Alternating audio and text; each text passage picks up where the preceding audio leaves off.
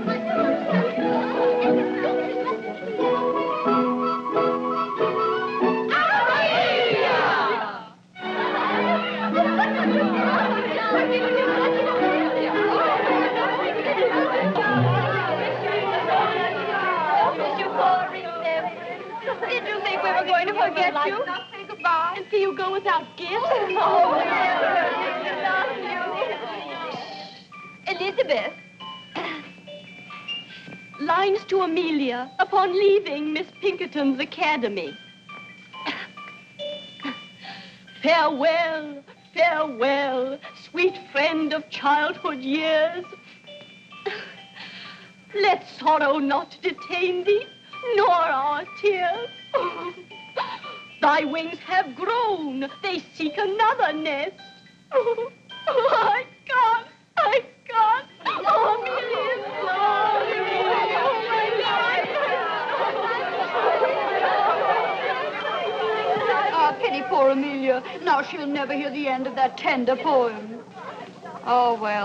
Much bad poetry in the world anyway. But Becky, haven't you a single tear for the years you've spent here? La, my sweet, tears are not expected of charity pupils. Oh, no, no tears. Humility. Gratitude for an education not very useful, but oh, so genteel. And curtsies for the leftover food at the second table, and the lovely frocks that the other girls would no longer wear. Oh, no, Laura. No tears. We orphans must learn that the luxury of emotion is for our better. Miss Pinkerton herself.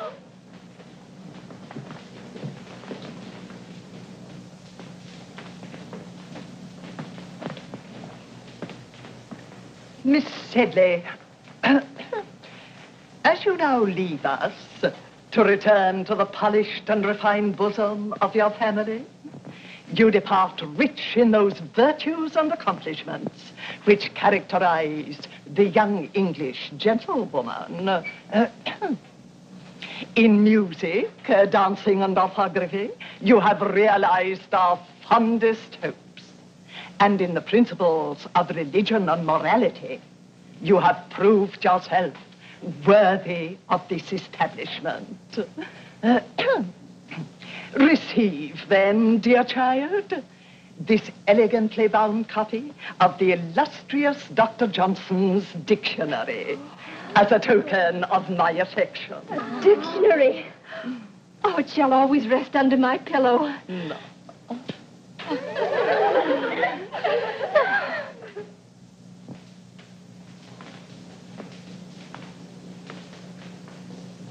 Miss Sharp, the time has come when Oui, you oui, go... mademoiselle. Je vais vous faire mes adieux. Be good enough to respond in the English tongue. Oh, dear, Miss Pinkerton, I'd quite forgotten that you can't understand French. For a moment, I thought I was talking to my dear dead mother, whose language it was. But who could blame me or any of us for thinking of you as a mother? Miss Sharp, what I meant to say was, you are about to go forth into the world alone, unaided, to exist by the fruits of your labor. I hope you go with a feeling of gratitude for the gift you have received within these walls. Oh, Mom, what other feeling is possible? Not one of hatred, certainly. Not one of wanting to leave this place. Or a feeling that you took me because I was useful. Mercy, wasn't it a joy teaching the younger girls music and French and knowing how much money I saved for you? Oh, it was. It was. Goodbye, then. Oh, this dictionary for you. Miss Pinkerton, Mr. Joseph Sedley, ma'am. Enter, sir. Joseph! Ah! Dearest Jos. Well, bless my soul, it must be you, is it? Now, Jos, how many sisters have you?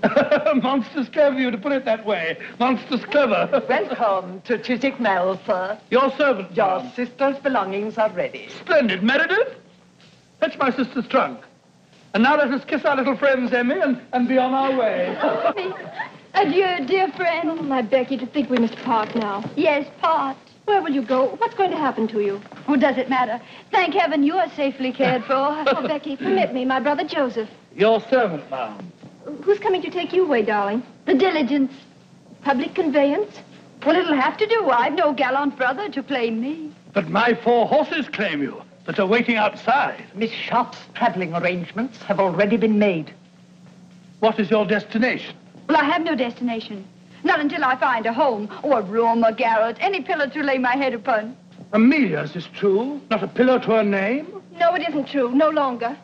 Becky, you're coming home with me and, until you find suitable employment somewhere. No, no, I mustn't burden you. Oh, you angel. Huzzah! I shout huzzah! My man will see to your trunk presently. I feel it my duty to warn you. I can't abandon her. She has nobody. Nobody. Goodbye, Miss Pinkerton. Goodbye.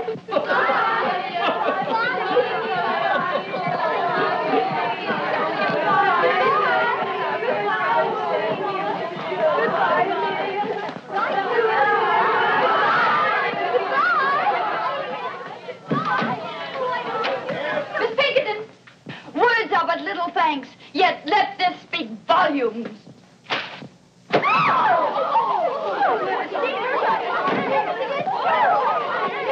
Back to your room.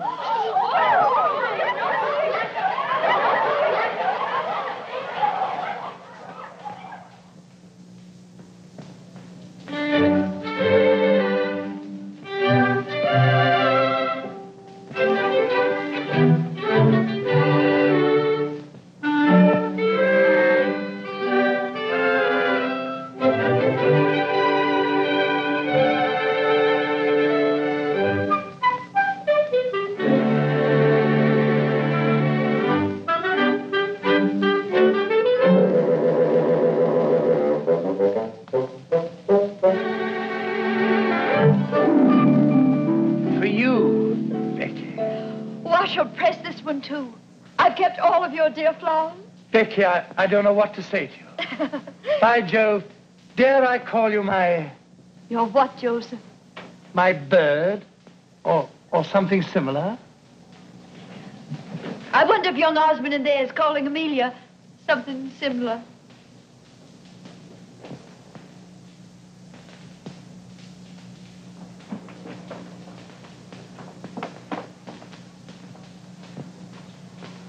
I admire men who do not hesitate to express their emotions. And I offer you my heart, my true affection. I offer you love, Amelia, and a lifetime of devotion. Now you have heard us both. The choice is yours, madam. Why do you make it so difficult for me? Two little boys I grew up with. How am I to choose between them? Am I to say no to you, William, whom I've always respected? Or, or to you, George, whom I've always, always uh, Loved, Amelia, loved. admired? Let him be your choice, then. Take George. Oh, my dear. Oh, I shall love you none the less always. Only I shall think of you as a sister. A sister who is married to my best, my oldest friend. William, William Dobbin, I. No man ever had a truer friend.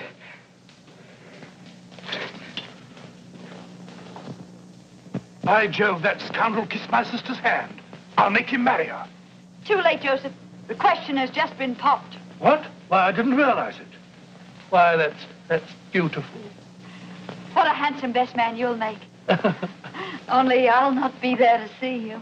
I'll be gone by then. Not if Joseph Sedley has anything to do with it. How can Joseph Sedley keep me here? By offering you the continued hospitality of his father's home. You're too noble. But if you were to keep me here any longer, I should never want to leave. I dreamed that I could stay forever. Oh, see you about me, receive your roses. An idle dream, isn't it, Joseph? I, I, A foolish, unrealizable dream. But I must face the world, look for employment. Becky, Becky, don't. I, What is it, Joseph? Do you care? do I care why, when I, when I think of you without a home, I, I, I'm completely unmanned, unmanned. Uh, uh,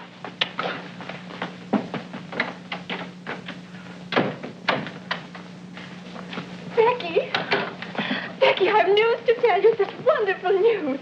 George Arthur Has asked for your hand and you've accepted him. Oh, my little blushing bride. You're happy? Becky, you'll never know how happy you're not loved. Oh, perhaps I am. Perhaps I, too, have given my heart. And you never told me about it. We wanted to surprise you. Joseph is so shy, so timid. Oh, Josie. Oh, Becky, you poor, poor girl. For what? Is Joseph so undesirable a match? Oh, then it must be I. Oh, Father would never approve. I, I know him. I understand. I've reached above my station. I've no fine pedigree. Oh, stop, Becky. Father has ambitions for Joseph. He, he plans to send him to India on government service. Wise father. Well, don't weep, precious. I'll marry one of these days, some worthy tradesman, a draper, a greengrocer, someone humble, fit to my position. Present my compliments to your father and say that I'm leaving tonight. And good luck to Joseph, the civil servant. The government needs men of courage, decision, men of brains. Ah.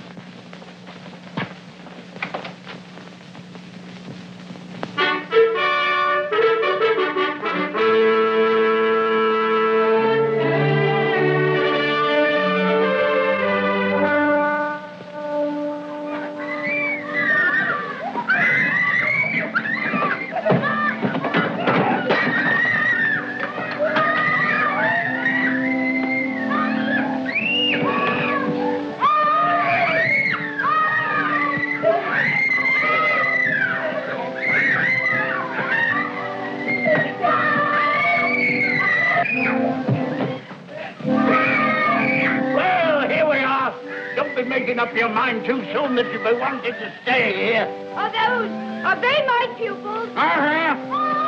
Brood of Satan, that's what they are. Well, Missy, for better or worse, you're in Queen's Crawley. The food's bad, the service hard, and the pay miserly. I, uh, I arranged for the position through correspondence. Sir Pitt Crawley said nothing of all this in his letter, did he? Of course he didn't. He's best the devil himself at driving a bargain.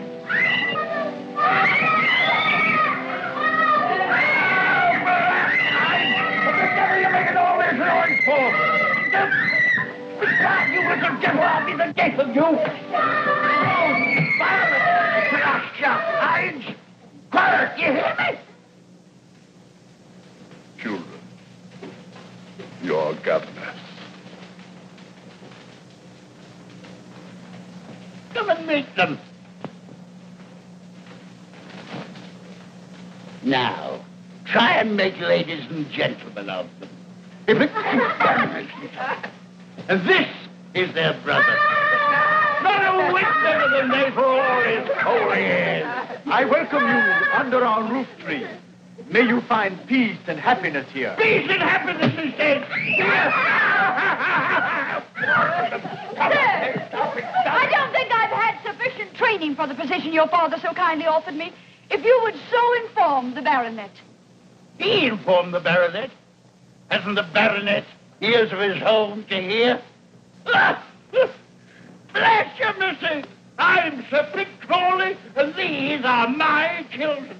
Quiet!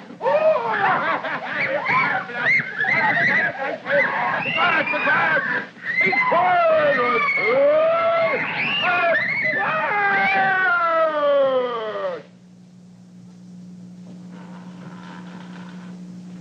And that's another son.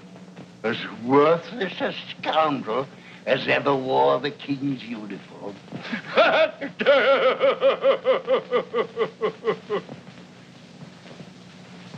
then you'll not be staying, eh? Pox, take it. Why, you're the prettiest governess I've ever had my hands on.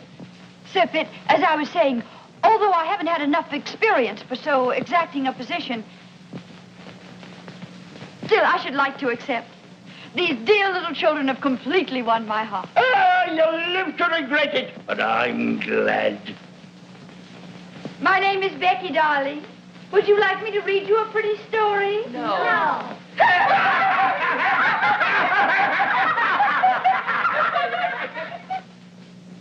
And here I bring you The Blind Washerwoman of Moorfields, a moral and instructive volume. Mr. Pitt, you're kindly sincere, but I haven't yet finished Rump's legacy that you brought me last week. Read them both, then. Read them both. Works by pious authors are soothing to the soul. what was that about the soul, Pitt? Let me hear it, too. You know how your servants always affect me. You are too far sunk in the morass of iniquity, my beloved brother, for my sermon. I hope to see you later, Miss Rebecca. Uh, now I must work on my speech for the Quashimaboo Aid Society. Quashimaboo Aid Society. How on earth do you stand him, Becky? What choice have I? I must watch the side my bread is buttered on.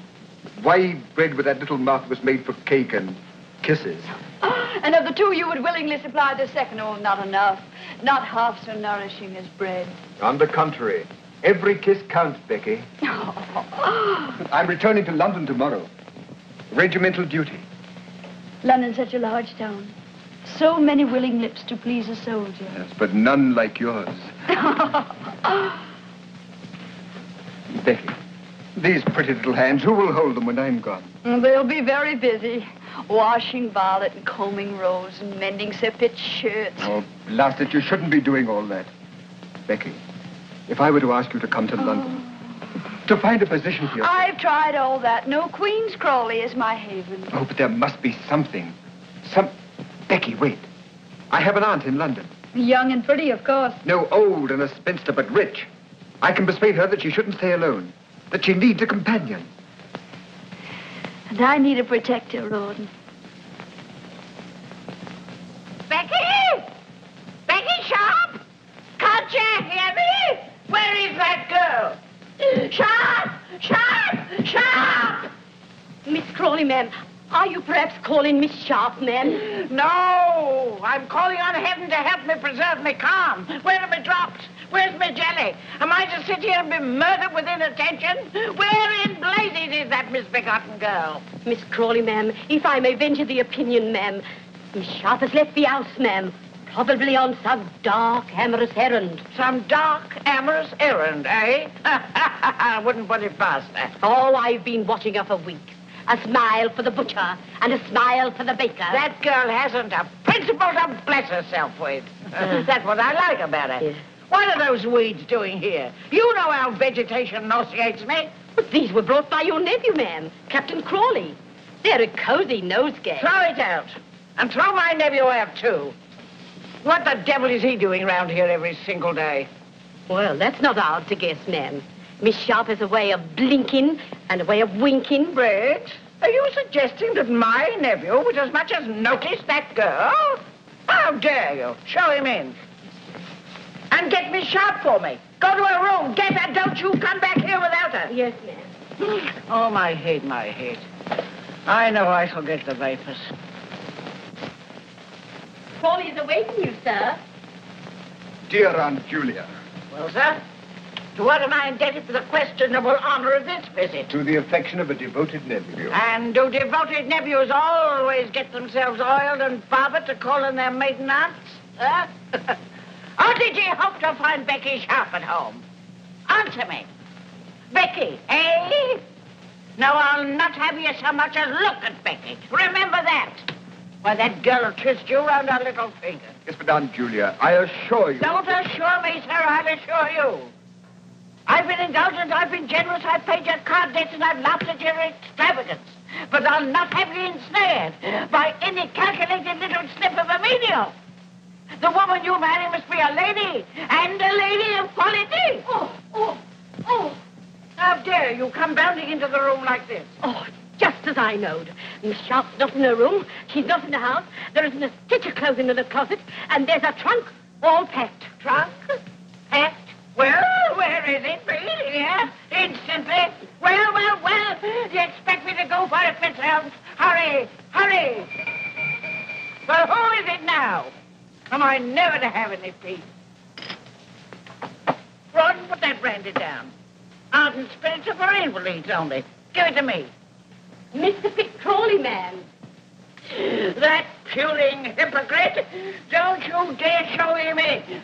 Well, sir, isn't London difficult enough without your presence?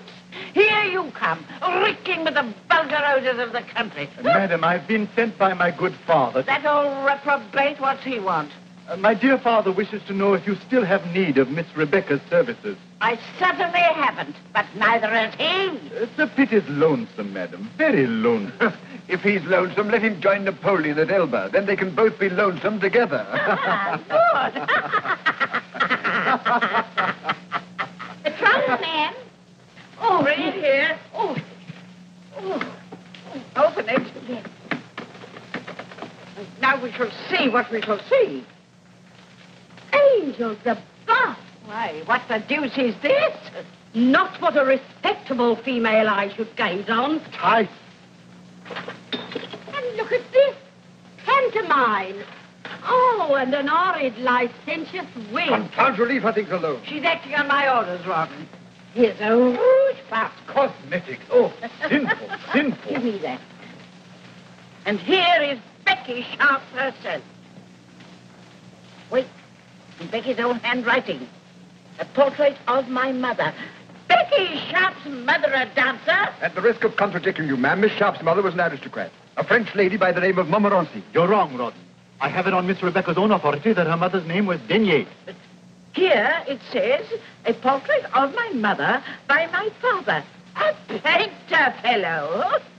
And I had it on Becky's own authority that her father was distinguished and rich. I don't care what that dastard thing says. I don't believe a word of it. Not a single word of it. Believe it, Tim Crawley. Believe anything, everything. Only these relics, they're mine, sacred to me. And no hand shall ever touch them but my own. How well I remember that sweet smile. Her portrait, painted in exile. This is how she looked, always when she bent over my bed, singing me to sleep. Yes, my mother was a dancer. She danced herself and she taught others to dance. But she was an aristocrat, oh, make no mistake about that. A Montmorency of the finest blood of France. And that was the sin for which she was exiled by the revolution. Her chateau burned, her estate confiscated, her fortune taken from her. Yes, she danced. Danced to feed her baby, her only child. To clothe me. To shelter me. Do you wonder now why I treasure these things that remind me of my sainted mother? And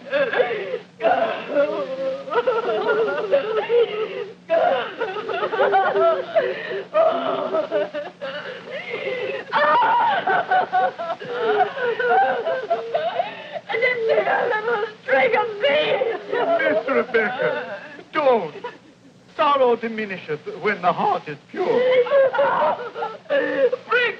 How dare you apologize to me, Sharp, at once? Miss Sharp! Dear Miss Sharp!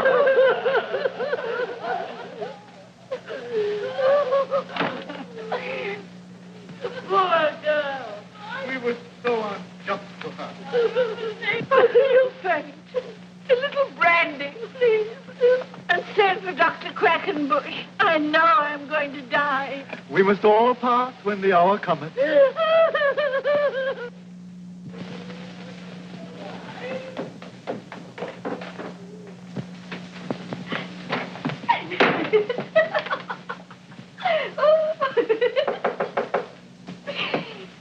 Come in. Oh, Becky, darling, why didn't you tell me? Do you suppose I would have cared who your mother was, how you were brought up? Why did you have to hide things from me? If you'd led my life, you'd want to hide some things even from yourself. Oh, tell me, are you sorry about yesterday? I'm sorry? Why, Becky, darling, you're my wife now, my own sweet wife. Your wife. We've been married less than 24 hours, and already you doubt my word. I don't, darling. I only want to know. No. What more? Still more? Endlessly? Do you want to hear about my father? How he drank, How drink killed his talent, his hopes, his wife. Will he beat her. And when I begged him, Daddy, Daddy, don't strike her, strike me. What do you think he did? Well, I'll tell you. He struck me. Oh, my sweet Becky, my poor darling. Oh, don't pity me. Perhaps I'm lying. Perhaps I'm inventing the story as I go along. I don't care. I still love you. Oh, that's what I wanted to hear. Love me, Rawdon. Love me. I've had so little love in my life. I've been kicked about so much. Well, take me away from here. Oh, but Becky, we couldn't do that. My aunt would disinherit me. Well, who cares if she does? We mean more to each other than money. Oh, darling, get a hackney coach. Come for me when it's dark. oh, why did I want you, my silly? What have you? Not a penny, not a plan, not ambition. Oh, but we'll make out, my Rawdon. We'll make out. Life owes me many things, and I intend to get them. All it takes is the least touch of wit. Oh, don't look so disturbed. I don't expect you to supply the wit. That's my dowry to you.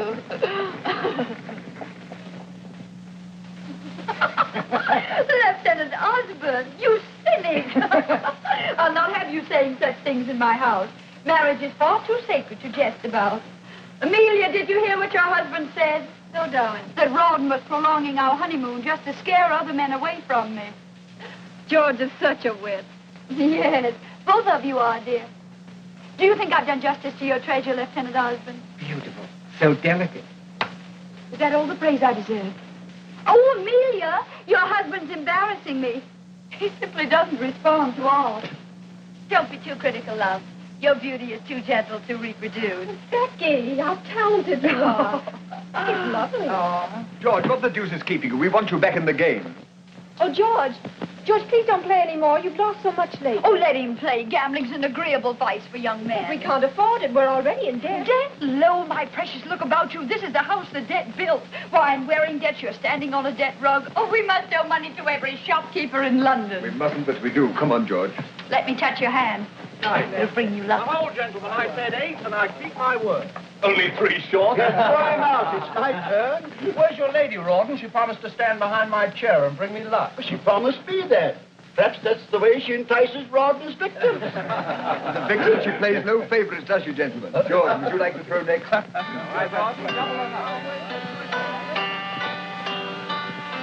How many years since I heard you play last? It was on your own harpsichord. How I envied you for it. But then I envied you for so much. For all that you had, and I didn't. Becky, you envied? You didn't pay any attention to me at all. You were too busy with Joseph. That fat brother of yours? Oh, how you all worried for fear I'd marry him. That's why poor Joseph was shipped off to India, wasn't it? Becky, you know father. He was. He Oh, was never so- mind, pet. That's all forgotten. That's the past. Oh, Becky, you're the most generous, most forgiving darling.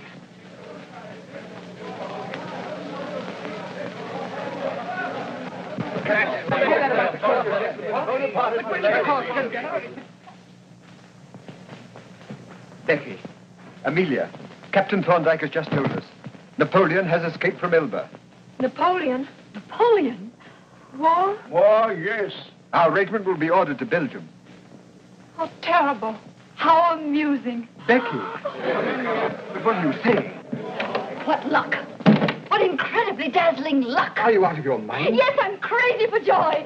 War, Belgium, a new start. But what have we here? Debts, tradesmen getting nasty, bills. Why do you think our luck will improve in Brussels? Because we'll force it to. Silver, aren't they pretty? I found them in a little curiosity shop and I couldn't resist them. Seven. Seven again. Becky. Don't imagine I'd ever use them. How silly you are. You look so frightened. They happened to amuse me. I had no idea they were loaded.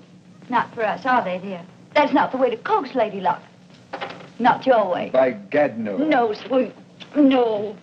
Remember what's ahead of us. Brussels. Brussels. Oh, everybody will be there. The officers with their wives, the best people, the richest people, society. A new life, Rawdon. Oh, we should be very grateful to Napoleon. Darling.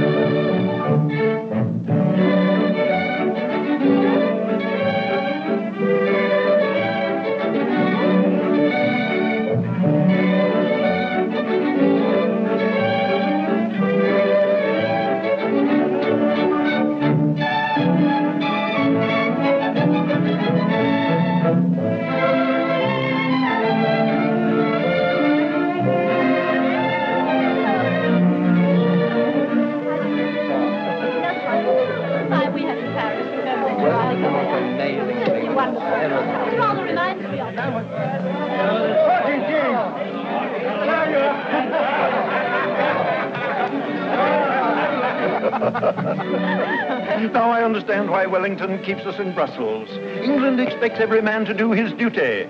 Nightly. Now, General, don't make me sorry I invited you. I shall send you home. To be thrown out by the Duchess of Richmond is the beginning of a social career.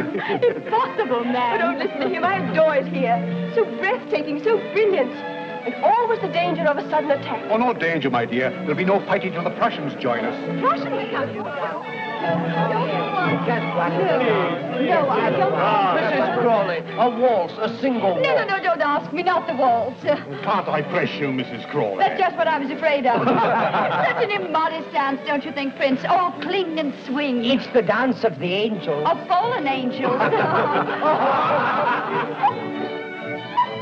Mama, she slapped Papa. That was Papa Mrs. Crawley slapped. Pay no attention, Blanche. You're too fine to notice such vulgarity. Ah, that slap. What memories it evokes. Would you believe, Ma'am, Mrs. Crawley honored my ears once by, by slapping them? Why, the inelegant creature. Whatever induced the Duchess of Richmond to invite a mere little ex-governess?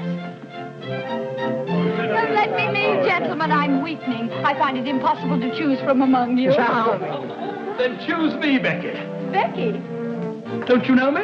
Have I changed so much in these few years? Oh, no, it isn't true. It can't be. Not Joseph Sedley. The name sounds familiar to me, Ma'am. By George, Becky, it's good to see you. You haven't changed a bit. I could have picked you out from amongst the regiment. I'm still the same little girl who wasn't good enough for you to marry. Oh, don't say that, Becky. You know I'd have married you in a moment if it hadn't been for those elephants. You know, it was Father who shipped me off to India to hunt the blasted pachyderm. I know your dear little sister Media told me all about it.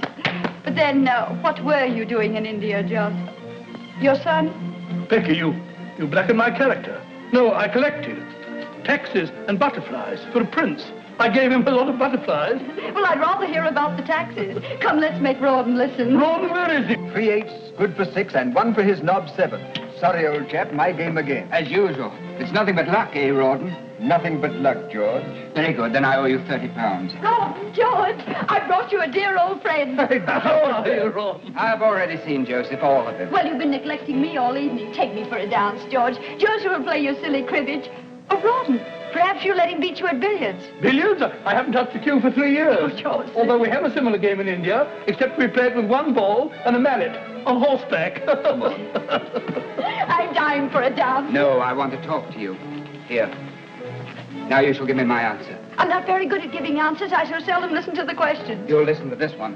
Why didn't you reply to my letter? Because only very silly people put such things in writing. Rawdon can read, you know. What if he had seen your letter? Somebody had whispered about it into Amelia's pearly little ears. Mm, It's too late for me to be concerned about Amelia. You and I are going away. Are we? I love Rawdon. Always remember that.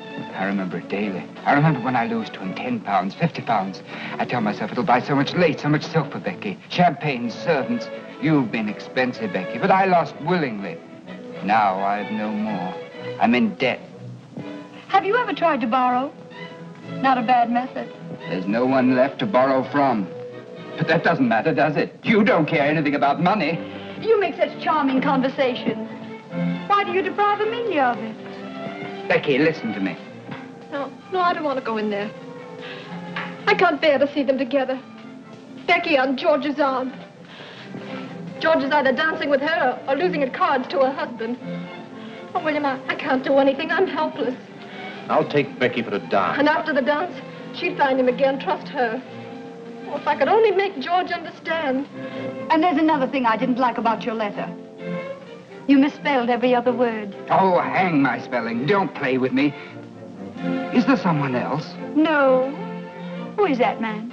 Oh, I intended just a homely, intimate affair. A little singing, dancing. Oh, my dear, dear Lord Steyne. Dear Lord Steyne, I've been looking for you. I thought you were hopelessly lost. Your Grace, you must blame the Polish ambassador. Ah, diplomatic secret? Not at all. The ambassador has too pretty a wife.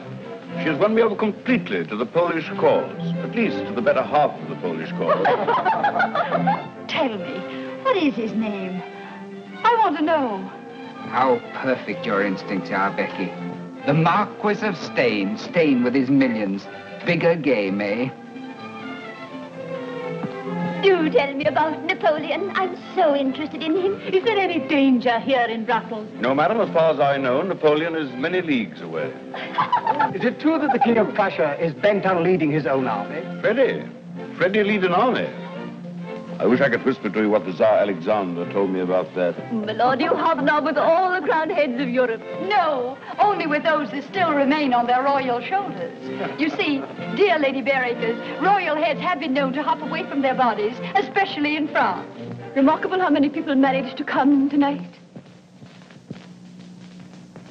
Lady Blanche, I was so sorry to hear about your mother's misfortune. I do hope the operation was successful. Operation, lady. To think of her going blind at her age, and now she can't recognize even acquaintances. These are glass eyes you're wearing, aren't they? Perfect, perfect. I do hope they'll continue to attract men. Oh. Who is that remarkable woman? The brightest new star in our social sky. Introduce me. I could spend many nights studying astronomy. Mrs. Crawley, permit me. The Marquis of Steyne, who plays the honor of your acquaintance. Hello. Will you favor me with a dance, Mrs. Crawley? What a joy it's a waltz. So fond of it? Oh, I could die for the waltz. There's some who call it an immodest dance, but I've always called it the dance of the angels. George, Amelia's alone on the terrace. Go to her, ask her for a dance. It's a drink I need, not a dance. Me war means rising stocks. I play for Napoleon's defeat. What do you play? I? Patience, And we are both above the fortunes of nations. but not above wars. War champagne, froth, bubbles. Your head swims, your heart beats. Then your glass is empty. And you wake with a headache. Headaches can be cured Heartaches too, my lord. by drinking more wine, a new bottle, And a new hand to pour it. Oh, my lord, I get drunk so easily.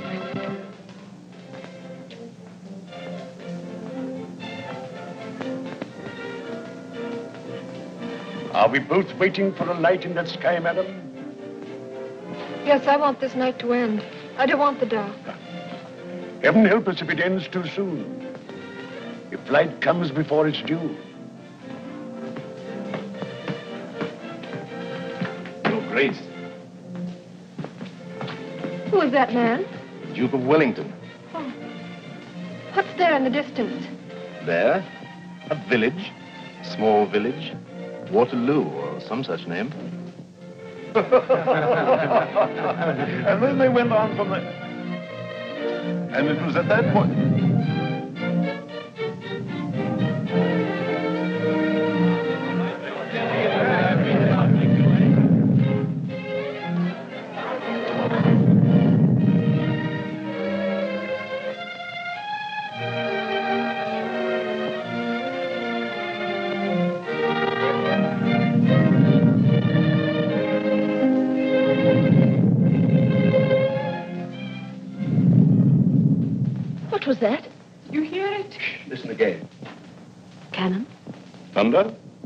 Artillery? No, must be a thunderstorm. Come on, I say, was, was that a cannon?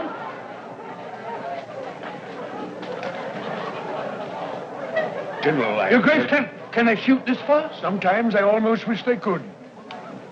Oh, it's nothing. It must have been the wind. Just a thunderstorm. I was so frightened. It's a false alarm. The dance? Come with me. Música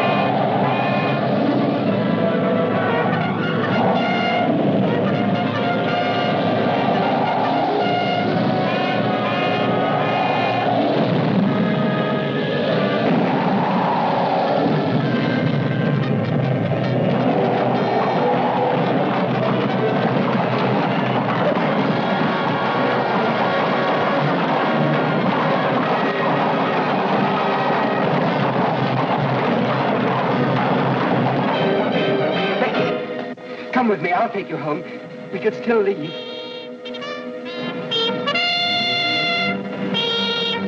The call to colors. Did you hear it, Lieutenant? The call to colors. It means nothing to me. You're coming with me. Oh, I'll desert Becky. We'll go somewhere to Canada, to Sydney. Only let's hurry. There's still time. Why not take your wife, George? Occasionally, you must remember that you're married. George! Oh, my dear, I've been so concerned about you. You, Becky, concerned about anyone but yourself? You can't take George from me. Why, heaven. You'll never take him from me. Oh, you're excited, Amelia, You're frightened. I don't want your George. See her home, George. Take care of my poor Emmy. Au revoir, George. I'll be watching you from the balcony.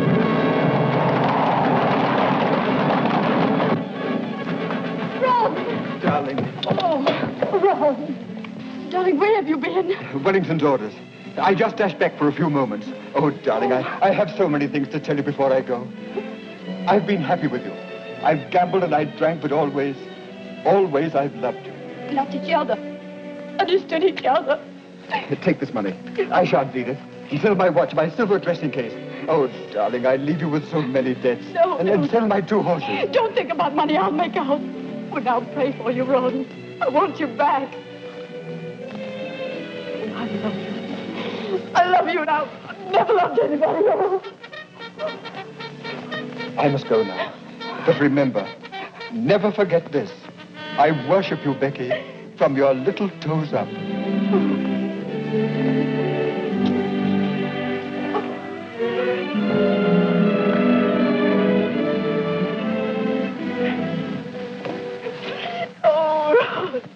What shall I do? What will happen to me? What will I do?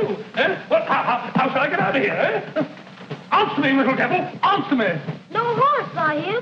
All join the army. Now what? Now what? Am I to rot away in Brussels? Why did I ever leave India? Why? Why? Becky, not a single horse that's in Brussels. Is, is this the end of, of Joseph Sedley? I can sell you a horse. Becky, I can sell you two horses, a thousand apiece. what, you're, you're robbing me? Two thousand for the pair. No, 500. Do you prefer to walk? You get winded so easily. 750 uh, for, for, for one horse. Your proportions call for two horses. Two thousand for the pair. 2,000 pounds. I, I'm ruined. Ruined. I, I could have bought a herd of elephants for that. But Becky, where are those horses? In the main stable. They'll recognize you.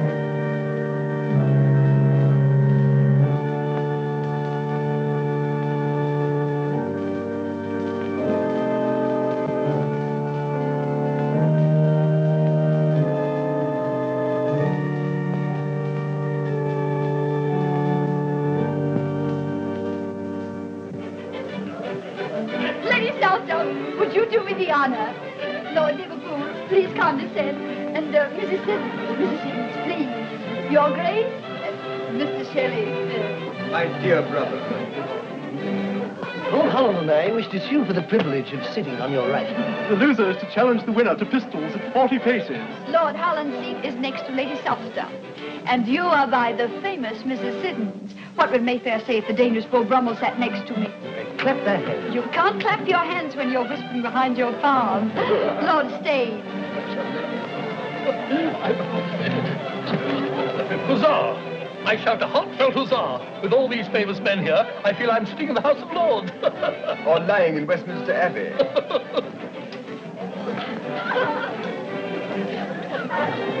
Why did you bring me here, Pitt?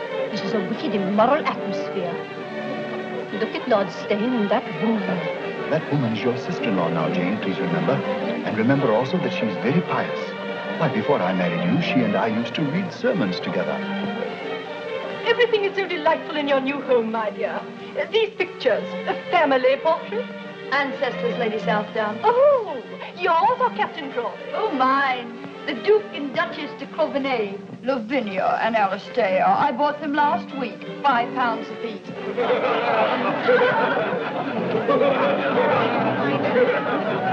Bravo. You've got the meeting out of your hands. Well, they may bite it later. Becky, you've arrived. Where, my lord? Not St. James's Palace. Not yet. Patience, Becky. Patience.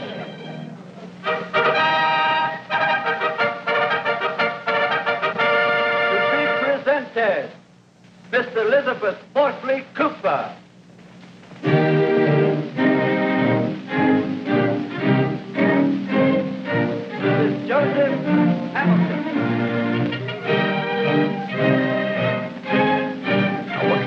Watch little Mrs. Crawley. She's waged me a hundred pounds for Prince Regent will stop the presentation to talk to her. That's unthinkable. The court of St. James would be shaken to its solemn foundation. The foundations may be solemn, but the head isn't. To be presented, Mrs. Broadus Frost. Did you get it? Yes, I have the address. And the man absolutely guarantees to take ten pounds off you a week. Ah. To be presented, Lady Sybil Gray. Voilà, madame. Oh Exquis Ravissant baby Oh, séduisant, madame. Monstrous elegant, Becky. Tell the messenger I'll keep it. Il ne peut pas le laisser sans avoir reçu quelque chose. Is the man mad? Can you imagine a tradesman demanding cash in this house? An outrage. Shall I kick him down the stairs? Be your usual gallant self and just pay the bill. Voilà, monsieur. Twenty-five pounds. Oui, monsieur. Why, I don't pay that much for my, my Sunday breeches. Merci, monsieur. Look here, Becky. Every time I come here, it costs me money. You either borrow, or I have to gamble and lose, like a gentleman. Why do you come? To advance myself. Did you or did you not promise me that Lord Steyne would have me appointed to some post? Well, I've spoken to him, and he thinks you'd make a very fine consul at some distant spot. When? When? I thunder when? Promises are not enough. Am I a consul? Do I wear a sword and a cocked hat? And do I do I stand for the British land? No. Thrice no. Yes, thrice yes. It's all settled. You're to be made consul for Sierra Leone. Sierra Leone? Sierra Leone? But Becky, those, those chaps are all cannibals. How, how would they take to me? Oh, I think they'd get to like you, bit by bit. Huh? But, but look here, Becky. What last? Hello, Ron. Where on earth have you been? I've worried about you all night long. Oh, I'm sorry. You shouldn't have. I stayed at the club. Club, eh? You must have met some sirens, that's what. Sirens. Come now, Ron. Confess. You'll come again tomorrow, won't you? Well, I'm here now, you know. But wouldn't this be a good time to be buying that cocked hat and sword? That's right. I'll sally forth and have me outfitted, bit by bit. Your servant, Becky. Your servant, Ron. I echo. Sirens.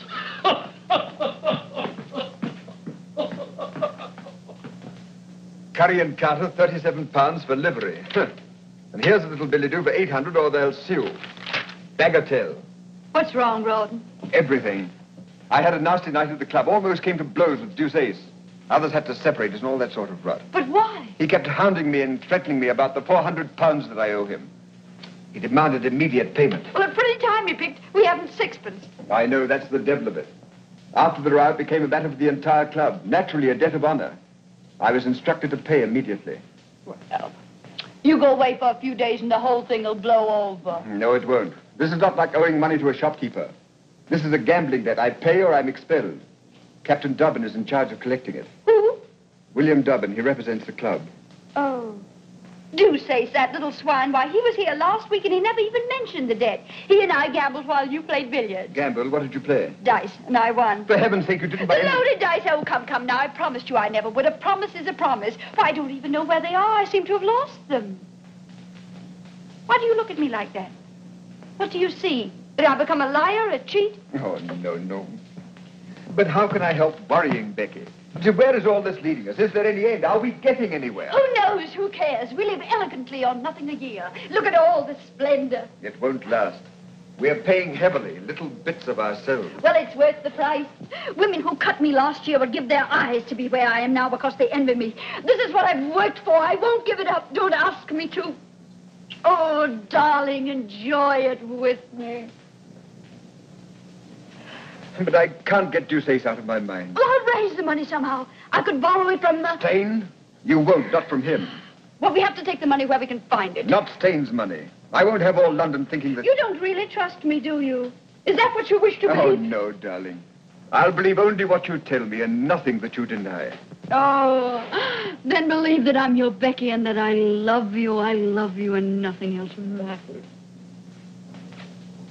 Oh, don't worry, darling. Perhaps Dobbin can be persuaded to wait.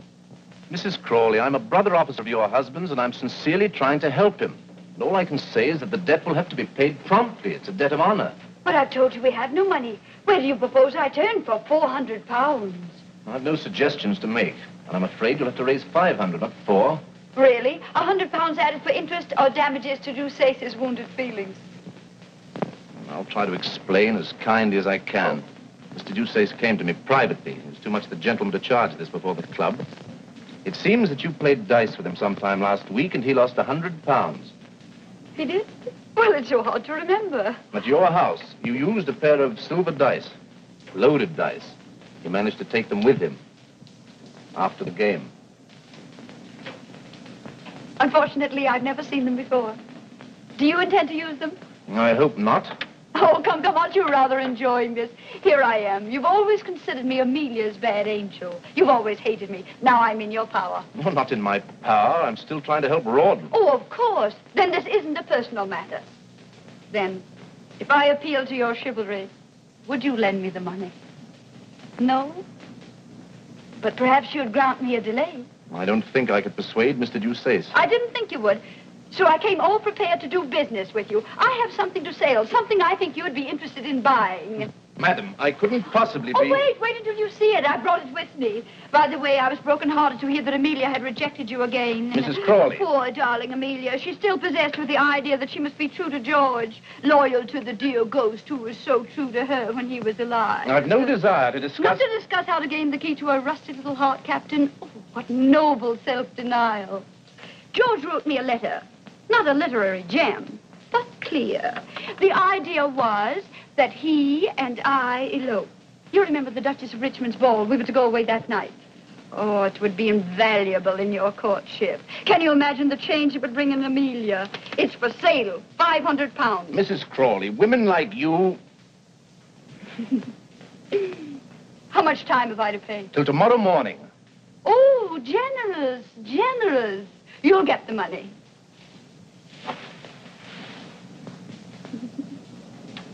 I was just thinking, if I were Amelia, would I respond any more readily to your charms?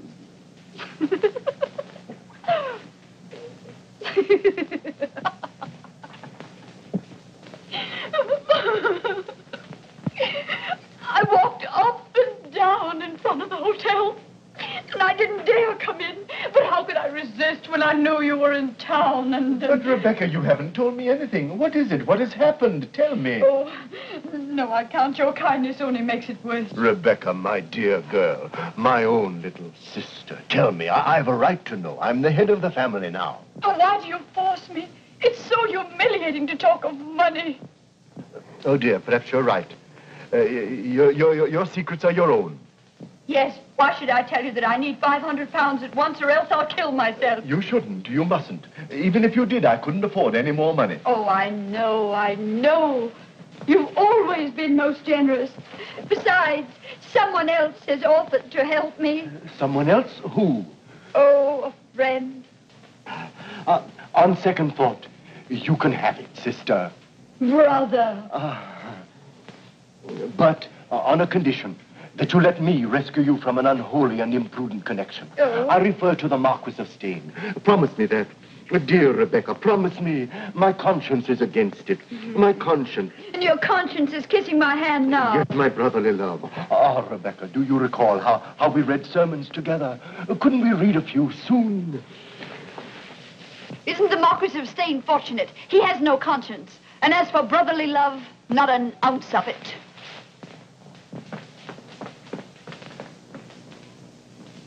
Thus each performs her part, Mama. The birds have found their voices. And I have to find 500 pounds for you and thus perform my part. hmm? Blowing rose of flesh, Mama. Her bonny cheek to die. Why do you sing, my dear? It's such a prosaic matter. I sing because I'm embarrassed, and I sing because I hate to beg. I'm sorry I appear to make it so difficult for you. The money is at your disposal, of course. And what's it for this time? Pretty ribbons? Toast for your breakfast? Or to say my name? Or charity? Ah, charity. There we have it. I'm trying to help an unfortunate man with a deserving wife. Perhaps you know them. The Crawleys. He got in a disagreeable mess at his club. A gambling debt. I'm delighted with the opportunity to serve you. If I give you this money, will you consider the possibility of granting me this evening that little supper that you've promised me for so long now? Oh, I've been very patient, you know. well, I am sorry, but Rawdon and I had planned something else for this evening. Will he not be going to the club in a hurry to pay that unfortunate debt? Perhaps.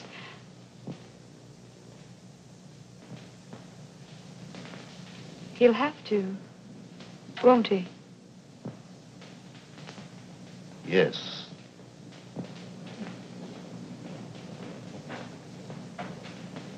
Thank you, my dear. And now go on with your singing. You sing most charming. There's sunshine in my heart, Mama, which wakens and rejoices. And so I sing and blush, Mama, and that's the reason why. And so I sing and blush, Mamma.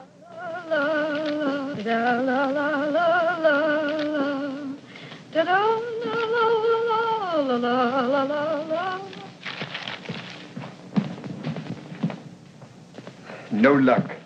No. Did you try everybody? Yes, everybody. Come here. Sit down. Shut your eyes. Now, isn't that a wonderful surprise? Wonderful. Where did you get it? Steyne? Oh, nonsense. Young Southdown came in this afternoon. You know he owed me 500 pounds. No, I didn't. When did you discover it? The moment he sent the money, silly. Sent it? I thought he came over. Well, both. He, he came over and he uh, sent Fifine in with it. Well, take it, darling. Be on your way with it. There's no time to lose. No, I suppose not. Oh, darling, you've had a miserable day. You need some amusement. Would you like to stay at the club this evening and play billiards? Yes. Rotten. You're not taking the money. Yes, I was going to leave the money, wasn't I? But you must go tonight. Tonight, eh? It would be quite serious if I didn't. Tonight. I agree with you. Oh, Rawdon, it's our last debt. We'll never have another. Once this last debt is paid.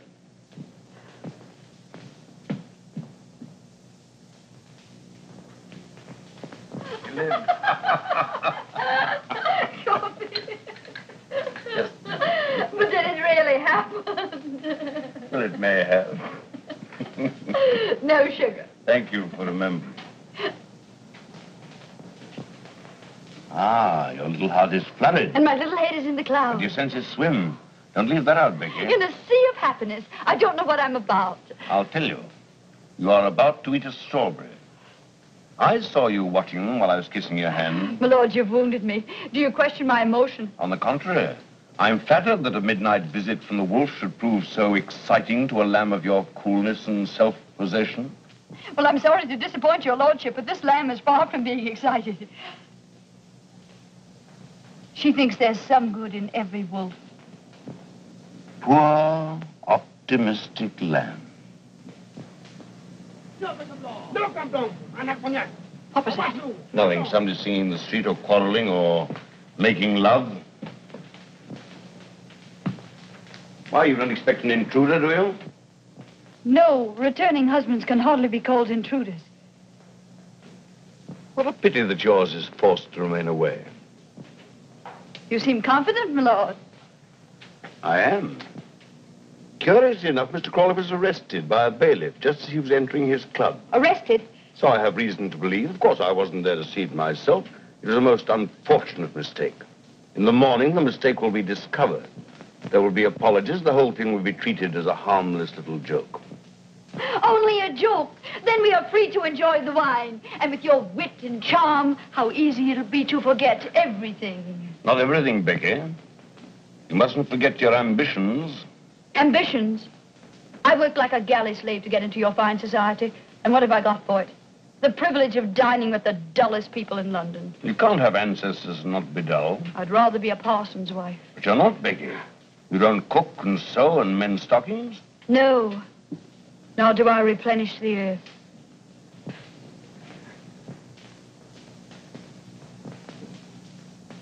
Therefore, you must enjoy life as you find it, Becky.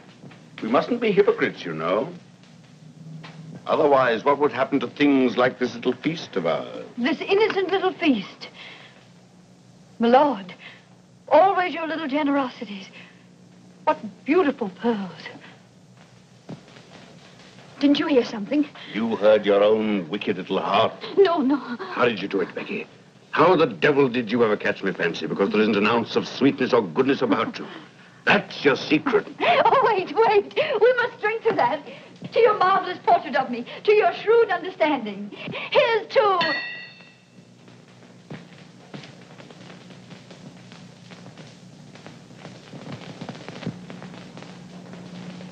Rawdon, my lord and I having...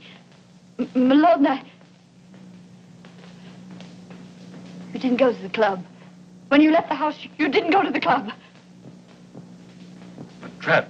Hmm? Mrs. Crawley's husband returns home unexpectedly. He doesn't go to his club. Well, sir, how much am I blackmailed for? Oh, I've done nothing. I'm innocent. My lord, tell him I'm innocent. Innocent. Come, what's the amount? I've already paid 500 for your absence. No, no, no! Run!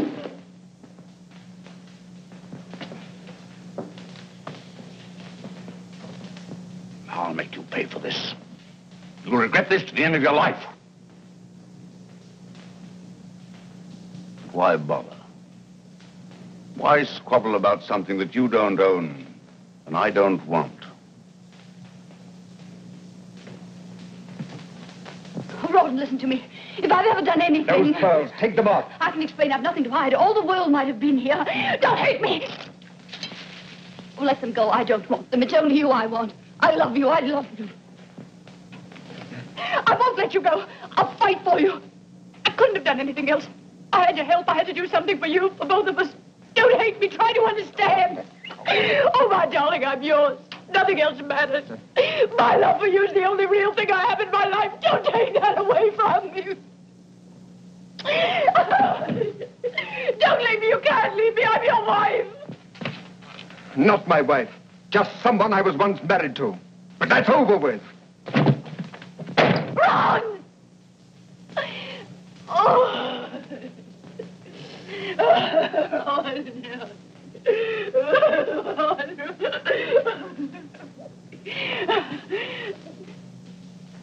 Oh. oh They'll laugh at me. Oh, how they laugh. thank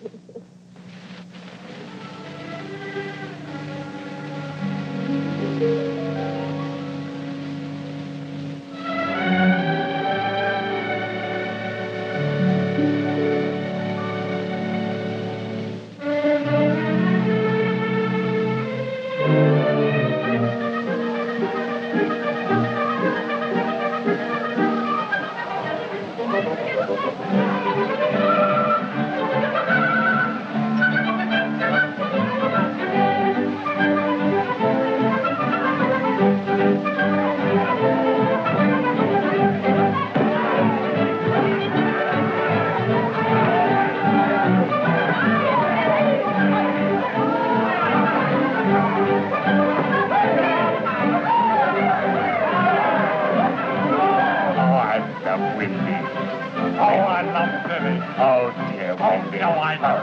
Up with eh? me, up with eh? me. Capital! I had no idea that places existed. The seamy side of life, my boy. The seamy side, eh? Yes, and we've been watching the sea.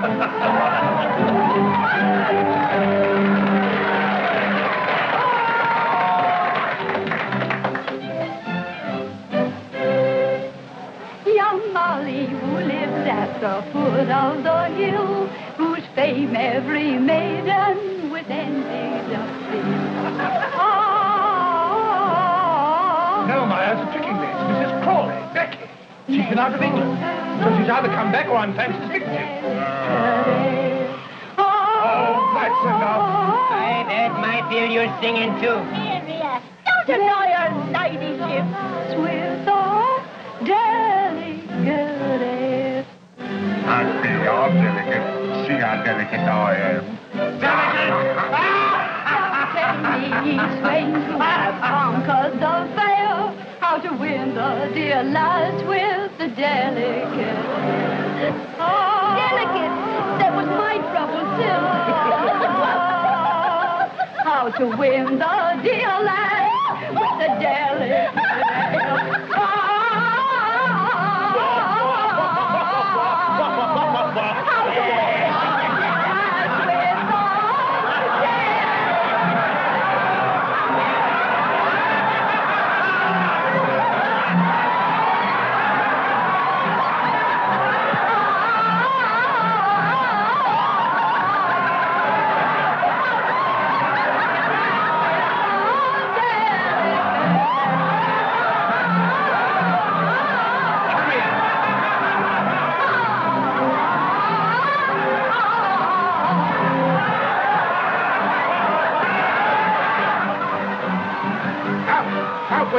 You. Imposter.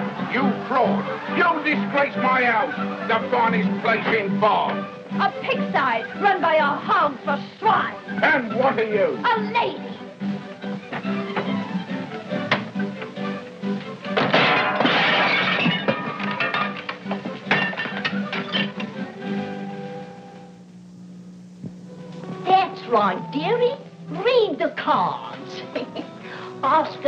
To find the money for the landlord. Because you pay today or else you go. Tell him I'll settle tomorrow. Do you think he'll believe that? He heard all about what happened to the great singer last night. I'm expecting a remittance any day now. I've written to my brother who's a rich man, a baronet. Your brother. I used to call him me cousins. I had an earl and a count. You wouldn't think it, would you, looking at me now? But I was a dancer. I had me home in Park Lane, me jewels, me carriages. Now I've got me broom and me scrubbing brush. There won't be any brush for me nor broom, you old crow. It's not in the cards. The King of Hearts. Rawdon. See how close we are to each other? There's the King of Spades between you. The King of Spades. He always keeps us apart. Well, you can forget about it if you drink enough brandy. Superstition nonsense. I'm not the Queen of Hearts and Rawdon's not the King. Who cares? Cards won't bring you back anyway. Then why do you sit here wishing sighing? Because I dream and I don't want to dream. I don't want to see him shipwrecked, killed, dying of fever. The Ace of Spades. Do you think he's dead? Cards never lie.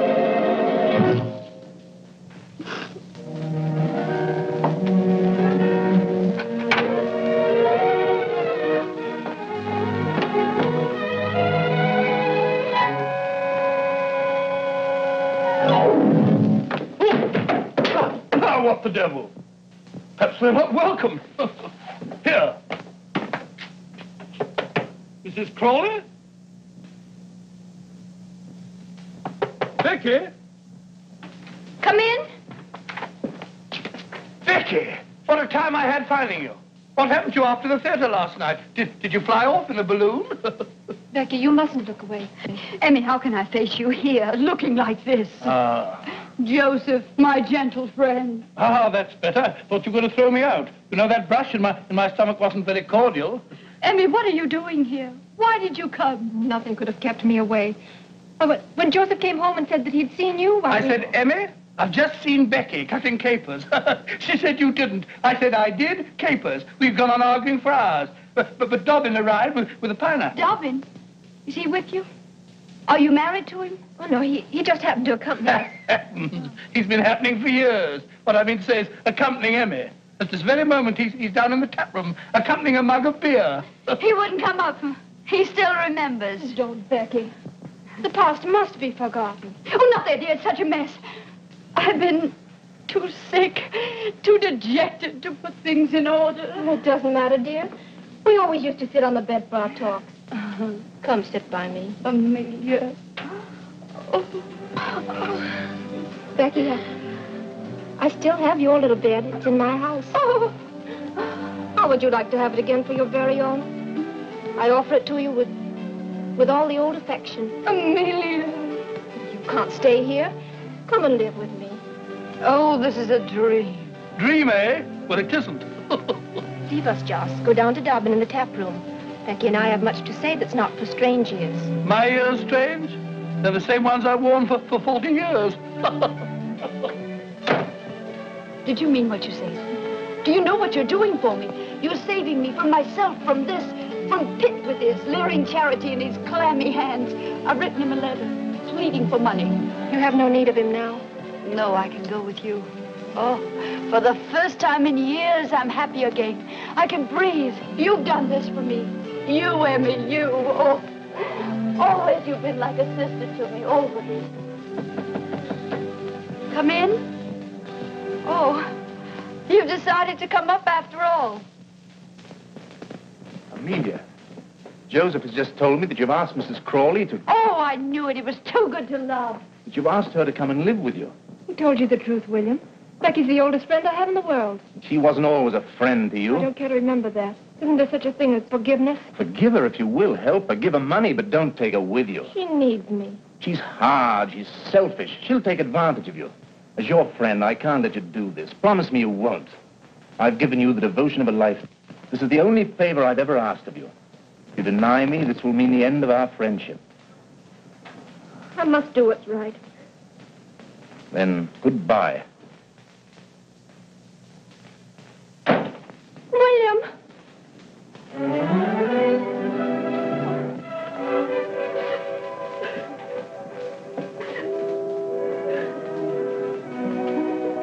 You're in love with the man.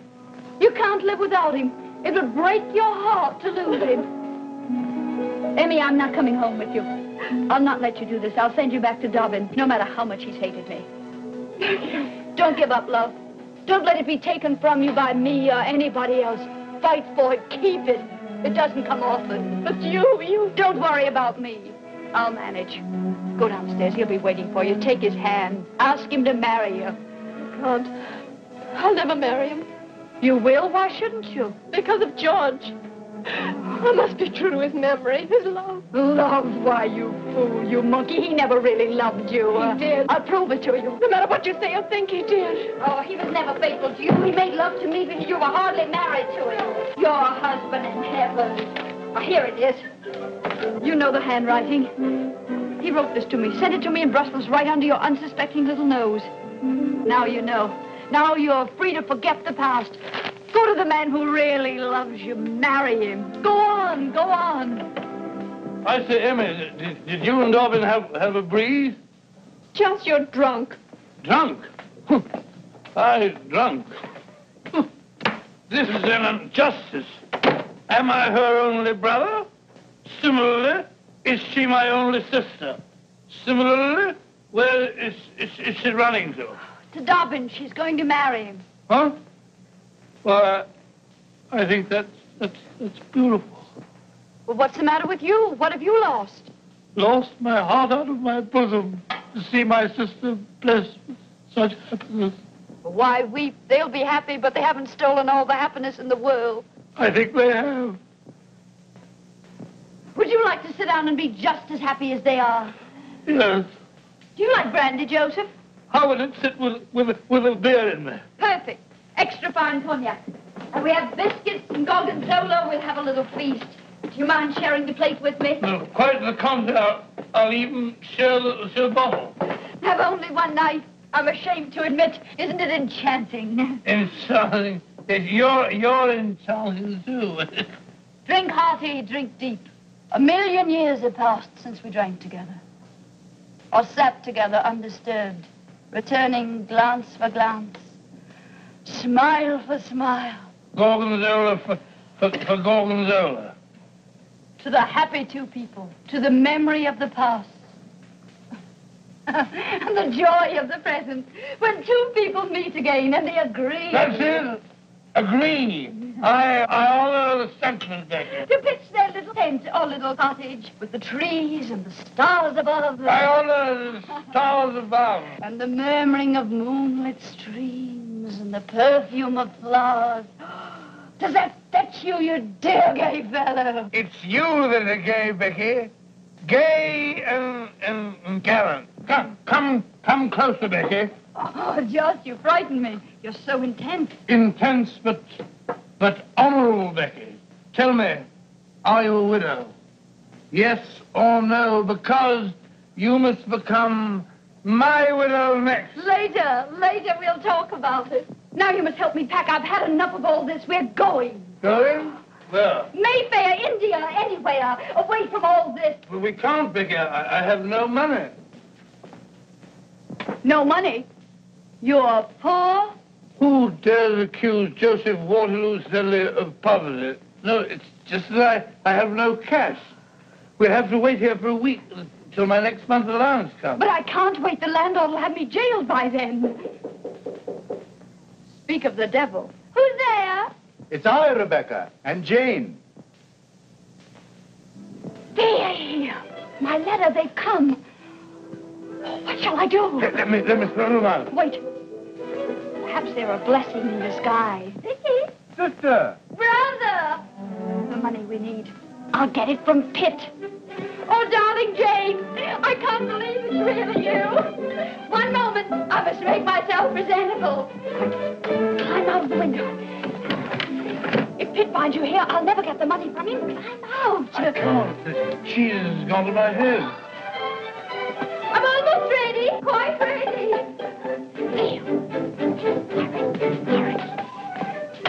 Oh, this bliss, this happiness.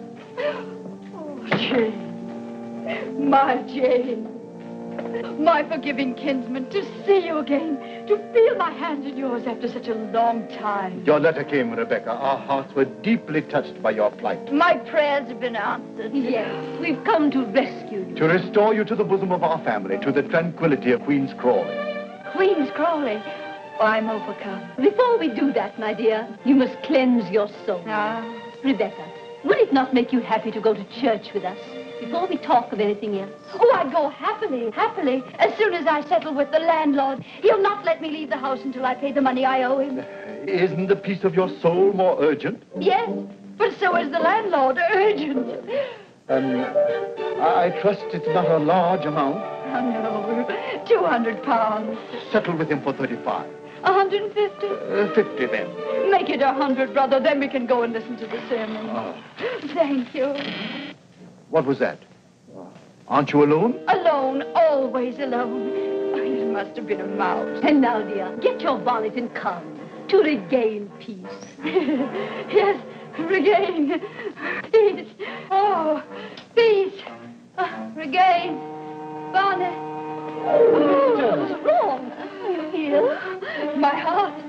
Excitement of seeing you again. Water. Oh, no, no, no. Uh, Perhaps I'll feel better soon if I rested. Yes, rest. And I shall stay with you and care for you in your need. Oh, no, you mustn't. I'd never forgive myself if you miss the service. You must go, dear. I'm used to my solitude. Please go and come back for me later. Come, dear, Rebecca's overwrought. Soon she'll, she'll be better. Uh, this book of moral precepts which we brought you, when you're better, read and profit. The title is Rewards of Virtue. Ah, until later then, poor child.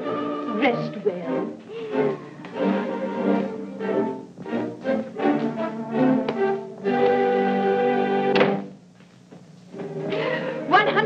And I owe the landlord twelve. Don't stand there blinking at me. We must get out of here. I'm not blinking. That, that's love. Put the trunk before love. Put those letters in the locket. We're going, going. India, rich princes, taxes to collect. Butterflies and elephants. Ah, ah, and rajahs and rubies and gold. The book, the book. Oh, Kid, brother. Yes, Rebecca? my deepest gratitude, brother, but virtue is its own reward.